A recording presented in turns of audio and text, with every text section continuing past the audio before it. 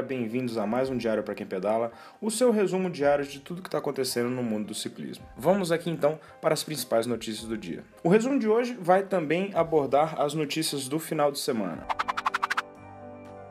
Na volta ao Algarve, o Alberto Contador conseguiu conquistar a última etapa da competição. Ele que chegou a sobrar na segunda etapa, na subida da montanha final, conseguiu largar seus adversários na última subida da última etapa. Apesar da vitória, ele não conseguiu tirar a vitória na classificação geral de Gerhan Thomas, da Sky, que terminou a 19 segundos na classificação geral de Ion Izaguirre, da Movistar.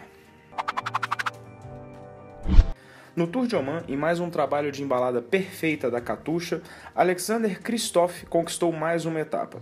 Na liderança geral, Vincenzo Nibali, que conseguiu abrir vantagem de seus adversários na quarta etapa, se consagrou campeão na classificação geral do Tour de Oman. Na Ruta del Sol, Alejandro Valverde da Movistar conseguiu consagrar a sua vitória. Em uma belíssima briga contra Balk Molema, Rafael Maika e TJ Van Garderen, o ciclista conseguiu tirar a liderança de Van Garderen, que até então era o líder da prova. Assim, então, conquistou não só a última etapa, como a premiação geral da Ruta del Sol. E vai aqui uma curiosidade.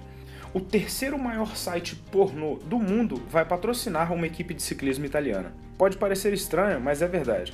O site americano X-Hamster irá patrocinar a equipe Promo Sports Racing, fundada em 2013. Em nota divulgada pelo site, eles disseram que, assim como no X-Hamster, eles acreditam que o ciclismo é sobre trabalho de equipe, então que isso vai fazer bem para ambas as empresas. Bom, vamos ver o que, que vai dar desse patrocínio aí. Um novo medidor de potência chamado Tempo Power Meter acabou de ser colocado para financiamento coletivo no site Kickstarter. A proposta desse aparelho é ser o medidor de potência mais barato do mercado. Atualmente, ele está custando 295 dólares na versão mais barata. Ele funciona como o Stages, outro medidor de potência do mercado, onde o aparelho medidor vai no braço do pé de vela, contrário às coroas. Essa opção de 295 dólares, você deve enviar o braço do seu pé de vela e eles vão instalar o aparelho para você. Na versão de 325 dólares, você já compra o braço do pé de vela com o aparelho instalado. Infelizmente, esse produto por enquanto só está disponível para residentes dos Estados Unidos. O ciclista André Greipel quebrou uma costela após uma queda na volta do Algarve. A queda aconteceu no final da quarta etapa e exames posteriores mostraram que o ciclista sofreu uma fratura na costela. Infelizmente, a participação dele na clássica Kurne Brussel Kurne, que vai acontecer nesse final de semana, ainda não foi confirmada. Essa semana vão começar as clássicas de primavera. No próximo final de semana, dias 27 e 28, as primeiras provas belga que abrem a temporada de clássicas vão acontecer. No dia 27, sábado, vai acontecer a Unloop Het Nieuwsblad, que é uma prova de 200 km com 11 subidas. E no domingo vai acontecer a Kurne Brussel Kurne, Boa parte dos ciclistas que participam de uma participa da outra. Kurne Brussel Kurne também é uma prova com 11 subidas, só que os últimos 50 km dela são bastante planos. Então, é uma prova bastante propícia para os sprinters.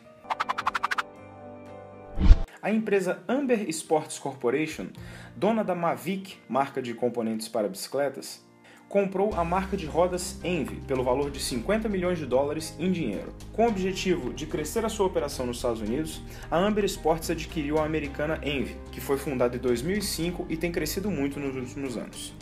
Acredita-se que a junção de tecnologias de ambas as marcas poderão fazer rodas de extrema qualidade.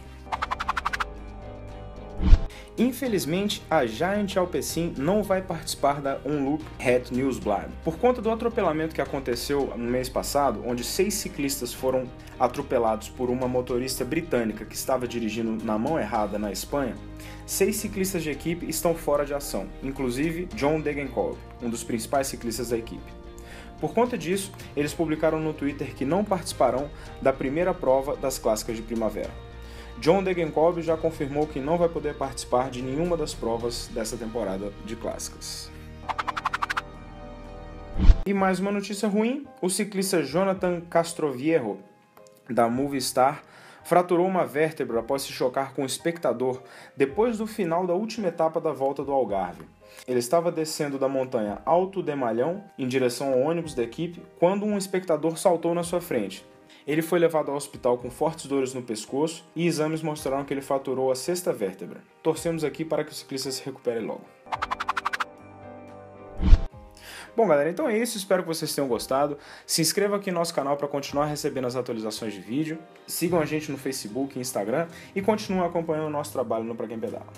Beleza? Então tá, galera. Até a próxima.